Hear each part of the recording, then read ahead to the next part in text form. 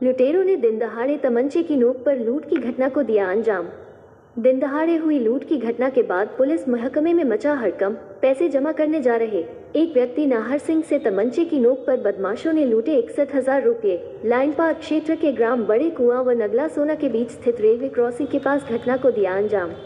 घटना को अंजाम देकर बाइक सवार लुटेरे मौके से हुए फरार। सूचना के बाद एसपी सिटी सर्वेश कुमार मिश्र ने पुलिस बल के साथ घटनास्थल का किया मौका मुआयना थाना टूमला के चौकी लाइन पार्क क्षेत्र की घटना।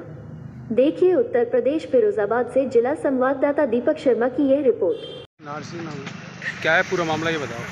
सर मैं पैसे लेके आ रहा था किस्त भरने के लिए। यहाँ बाइक वालों ने मेरी बाइक रुकवा के ली और पैसे लेके नहीं चले गए। कितने पैसे थे? इकसठ सौ इकसठ हज़ार रुपये। कहाँ रहते हो आप? नगला केसों में पिता का नाम क्या है? सुबह तुम्हारा क्या नाम है? नार सिंह